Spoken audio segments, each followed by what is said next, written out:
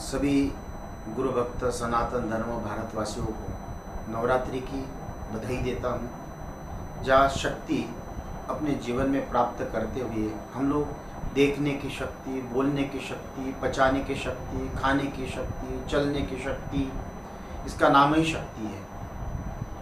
इसलिए शक्ति प्राप्त करने का पर्व है। चाहे ब्रह्मा, विष्णु, महेश भी इस पर्व में संचालन, पालन, उत्पत्ति इन सभी को प्राप्त करने के लिए आराधना उपासना करते हैं।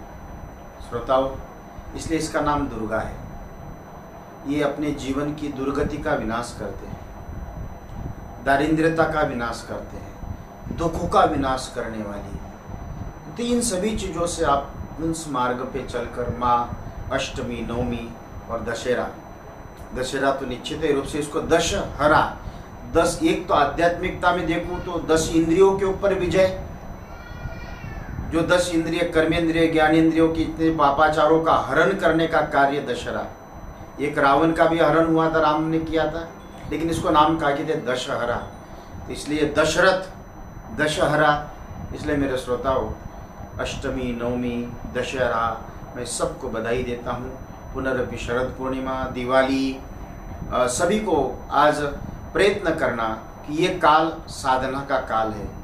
अब अष्टमी से लेकर दिवाली तक रोज आना अगर श्री सूक्त के कोई पाठ करते हुए शंख को चावल से एक एक मंत्र का बोल के एक एक चावल भर के अगर शंख भर देता है तो उसके सारे दारिद्र्य दुख नष्ट हो जाते हैं।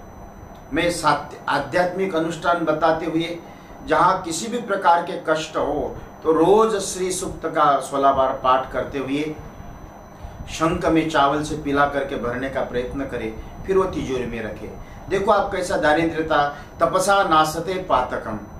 कभी कई प्रकार के पापों के कारण संसार में कष्ट आते हैं, इसलिए मेरे श्रोताओं, थोड़ी देर तक साधना ज़रूर करें उपासना करें इतना ही कहते हुए मैं सबको बहुत बहुत बधाई, दशहरा जहाँ दिवाली सबको बधाई देते हुए मैं माँ का आशीर्वाद की कामना करता हूँ। सबको धन्यवाद। बहुत बहुत बधाई।